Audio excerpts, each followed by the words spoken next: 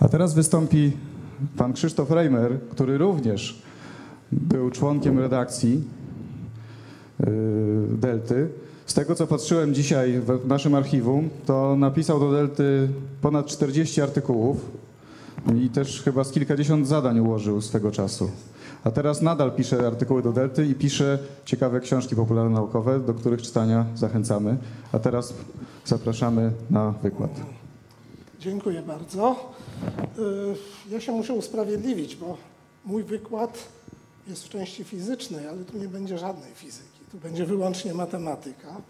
A to dlatego, że y, trafiłem parę tygodni temu na coś, co po prostu mnie zafascynowało. I to będzie historia sprzed 500 lat, ale za to z bardzo pozytywnym przesłaniem, które mówi, że nigdy nie jest na nic za późno w życiu.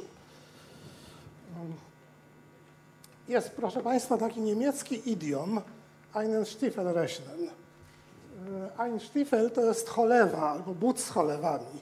Każdego rodzaju but z cholewami. Od tego, co nosili szwedzcy rajtarzy, po damskie kozaczki. Tutaj na tym rysunku e, jest pokazana karykatura angielska e, króla Ludwika XVIII, który usiłuje wejść w buty Napoleona. E, Właśnie to, te buty to są die Stiefel. A naprzeciwko y, widzą Państwo coś w chmurach się wyłania. Zgadną Państwo, co to jest? Gilotyna. Ludwik XVIII był bratem zgilotynowanego Ludwika XVI. No dobrze, ale co wspólnego może mieć y, ten idiom? Sti- Rechnen oznacza liczenie. Stiefel to jest cholewa, czyli oblicz, obliczyć cholewę. Jaki jest sens tego powiedzenia?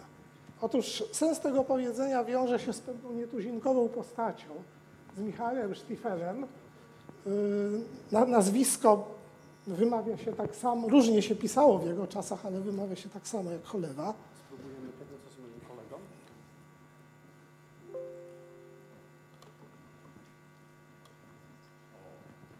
Dobrze. Ten idiom oznacza po prostu policzyć coś w absurdalny sposób, dziwaczny, absurdalny. Yy, Stiefel był yy, mnichem, augustianinem, yy, żył równolegle z Lutrem i bardzo szybko został zwolennikiem Lutra. Ale oprócz tego, że był mnichem, i, i, który został szybko luteraninem, miał pasję matematyczną. Chociaż była to bardzo dziwna pasja, bo początkowo była to numerologia. Numerologia jest związana no, z tym, że w, kilku alfabetach, to Państwo doskonale wiedzą, że Rzymianie cyfry za, zapisywali przy pomocy symboli oznacz, oznaczających, liczby w ogóle, przy pomocy symboli oznaczających litery, ale tak samo było w alfabecie greckim i w alfabecie hebrajskim.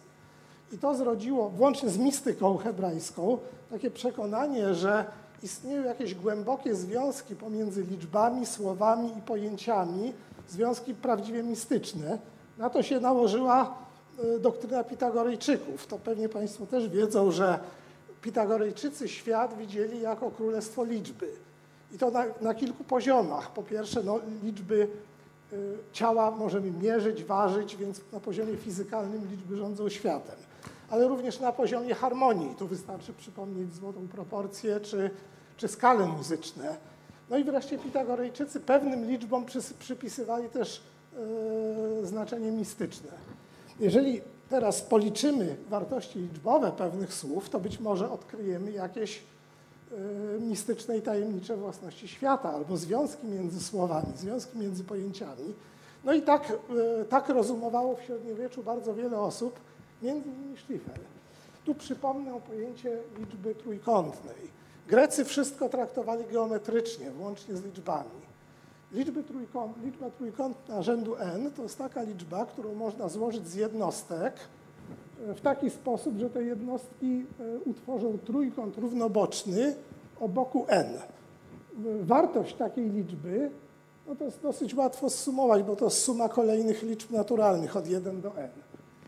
I można to policzyć przy pomocy tego oi, przy tego wzoru. E, I tu jest e, pewna ciekawostka, ponieważ to jest, to jest dzień delty, więc ja zrobiłem potrójny dzień delty. Otóż Gauss udowodnił twierdzenie, nazwane twierdzeniem Eureki, które mówi, że każdą liczbę naturalną można zapisać jako sumę trzech liczb trójkątnych, jeżeli włączymy zero jako najprostszą liczbę trójkątną. A nazywa się to twierdzeniem Eureki, dlatego że Gauss w swoim dzienniku zapisał pod datą 10 lipca Eureka, num, czyli liczba równa się delta plus delta plus delta, czyli suma trzech liczb trójkątnych. Jest to e, przy, przypadek szczególny pewnego twierdzenia bardziej ogólnego, e, sformułowanego przez Fermat, którego dowód podał Cauchy dopiero w 1813 roku, które dotyczy liczb figuralnych, które są uogólnieniami liczb trójkątnych. No i otóż Stiefel wypracował swój własny system numerologiczny. Posługiwał się alfabetem łacińskim, który liczył 23 litery, bez naszych liter J, U oraz W. E, małym literom alfabetu przyporządkował kolejne liczby naturalne, natomiast dużym literom alfabetu przyporządkował kolejne liczby trójkątne. I zaczął badać, co różne słowa mogą oznaczać, jakie są wartości liczbowe. No, za, zaczął od tego, że dodał wszystkie liczby trójkątne od 1 do 23 do siebie. E, otrzymał bardzo ładny wynik 2300. E, o tutaj widzę chyba zniknął jeden wzór. E, to, to można za pomocą prostego wzoru zrobić. Sztyfel tego wzoru oczywiście nie znał, więc liczył na piechotę. E, no i okazało się, że liczba 2300 e, występuje w Biblii, w księdze Daniela, co go bardzo ucieszyło, więc dalej kontynuował swoje numerologiczne badania i zaczął od tego, że imię papieża Leona X zapisał w taki sposób, że zapisał dużymi, dużymi, litera, dużymi literami te litery, które odpowiadają liczbom rzymskim i pozostałe małe liczby wyrzucił. Otrzymał liczbę w zapisie rzymskim 1656, nic ciekawego. E, ale był człowiekiem o bardzo dużej wyobraźni, więc powiedział sobie, ach, M to jest misterium, czyli tajemnica. Zróbmy coś, zastąpimy M przez X, czyli tysiąc rzymski przez 10 rzymskie, bo e, Leo Decimus to jest 10 liter. No, nie, nie, bardzo jesteśmy w stanie zrozumieć mentalność ludzi tamtej epoki, ona po prostu taka była. No i co mu wyszło? 666, a więc apokaliptyczna liczba bestii. E, Leon X jest biblijną bestią. Oczywiście po drugiej stronie barykady papiści w podobny sposób dowodzili, że Luter jest tą apokaliptyczną bestią, więc to działało różne, w różne strony. A następnie e, Stiefel napisał książkę arytmetyczną o antychryście, Apokalipsa w Apokalipsie. E, w której przewidział, że dzień sądu ostatecznego nastąpi 19 października 1533 roku o 8 rano. E, Luther usiłował go przekonać, żeby nie publikował tej książki bezskutecznie i zaczęły się dziać dantejskie sceny. Rzemieślnicy porzucali warsztaty, rolnicy porzucali pracę na polu, wszyscy ciągnęli do miasta Lochał, w którym on był pastorem, żeby się wyspowiadać u niego. Pewien pobożny chrześcijanin zamordował całą rodzinę, po czym sam się powiesił w obawie przed gniewem Bożym. Inna chrześcijanka wyciągnęła męża z grobu, żeby w dniu sądu ostatecznego już był na wierzchu. E, I e, no wtedy, ponieważ ten dzień sądu jednak nie nastąpił, w powietrzu zapachniało atmosferą linczu. Chłopi wściekli, rzemieślnicy wściekli, bo wielu posprzedawało majątki e, i wtedy wkroczyło, wkroczyło wojsko, które Sztifela aresztowało. Nie tylko dlatego, że e, wywołał zamieszanie, ale również dla jego własnego dobra. Przez pewien czas był w areszcie prewencyjnym. E, o właśnie tutaj jest po lewej stronie jest okładka tej księgi apokaliptycznej, arytmetycznej apokalipsie, a po prawej stronie jest tablica na budynku w Wittenberdze, w którym on był więziony, na, na pamiątkę tego. No i proszę Państwa, i to doświadczenie, z tego doświadczenia wyciągnął on jedyny słuszny wniosek. Należy zaprzestać tego rodzaju zabawy i zabrać się za studiowanie poważnej matematyki. I zaczął studia matematyczne. Mając 43 lata, to już był w tamtym czasie podeszły wiek, jego Promotorem był człowiek o 13 lat młodszy od niego, e, Jakob Miliś, uczeń Erasma z Rotterdamu, lekarz i matematyk. Więc myślę, że wymagało to dużo pokory od Stiefela, uczenie się od człowieka o 13 lat od niego młodszego. E, co więcej, on będąc teologiem w tamtej epoce uważał się zapewne za kogoś lepszego niż przeciętny człowiek. Więc wykazał się wielką pokorą i ta pokora dała rezultaty. Po kilku latach nauki został jednym z najwybitniejszych algebraików niemieckich tamtej epoki. E, napisał trzy dzieła matematyczne, jedno po łacinie, następne już po, nie, dwa po niemiecku. E, I wreszcie pod koniec życia został profesorem matematyki na nowo utworzonym Uniwersytecie w Wienie. Czym się Stiefel zajmował jako matematyk? Ano, mm, zajmował się tym, co było wtedy najbardziej interesujące, mianowicie rozwiązaniami równań algebraicznych. Zajmował się metodami wyciągania pierwiastków. E, uważany jest również za prekursor, jednego z prekursorów rachunku logarytmicznego. Ale przede wszystkim, to było też bardzo ważne, e, był jednym z tych, którzy zaczęli ujednolicać i wprowadzać nowoczesny język matematyczny. Wcześniej zadania matematyczne były formułowane w sposób opisowy. On należał do tych, którzy wprowadzali symbolikę do, do zapisu problemów matematycznych. Tu jest właśnie y, prawe, po prawej stronie jest karta y, z dzieła Stiefela, natomiast po lewej stronie ta piękna księga to jest jedna z ksiąg, z której on się uczył, napisana przez Krzysztofa Rudolfa z Dolnego Śląska, również y, bardzo ważnej w tamtej epoce tu, tu, niestety zniknął napis, nałożyło się jedno na drugie. Algebra po niemiecku nazywana była Dikos w tamtych czasach. Nazwa, która wyszła z użytku później.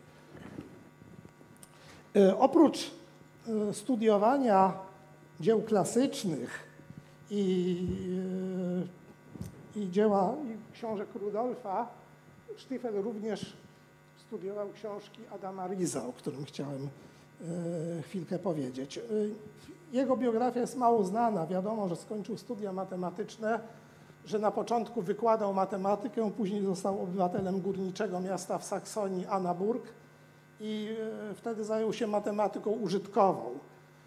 To była księgowość, to była kontrola miar i wag i mm, no, doskonale wykształcił swoje dzieci. Miał pięciu synów, z których czterech też zostało matematykami. Natomiast on zasłynął przede wszystkim z, z dwóch książek matematycznych, które napisał jeszcze w czasach, kiedy w młodości wykładał matematykę, które były uważane za doskonałe. I tak jak jest takie powiedzenie, że w momencie, gdy wynaleziono druk, najczęściej drukowaną książką była Biblia, a zaraz po niej były elementy Euklidesa, to na trzecim miejscu należałoby umieścić właśnie Adama Rizę, ponieważ jedna, jeden z jego podręczników matematyki miał ponad 100 wydań. No w tamtych czasach to jest, e, to jest imponująca, imponująca liczba i co więcej, e, co więcej, Adam Rize przetrwał do dziś, proszę Państwa. Niemieckie dzieci znają takie powiedzonko Das macht nach Adam Riese czyli zrobiono według Adama Rize. To oznacza poprawny wynik działań arytmetycznych. Tu na poprzedniej tablicy e, były pokazane dwa pomniki. Ten w środku to jest pomnik XIX-wieczny e,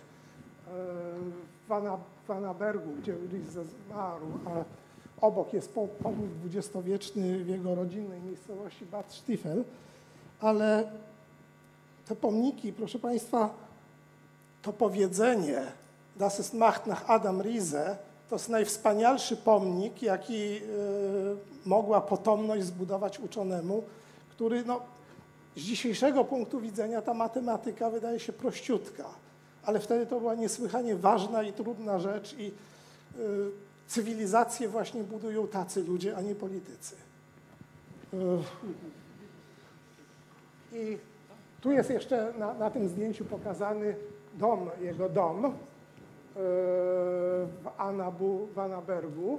W tym domu działa e, Adam Riesbund, stowarzyszenie, które e, zajmuje się oświatą, między innymi prowadzi lekcje matematyki. Tu jest pokazana po, po lewej stronie lekcja matematyki średniowieczno-renesansowej, gdzie uczniowie przychodzą, ubierają się w szaty z epoki i poznają tajniki, jak dawniej uprawiano matematykę.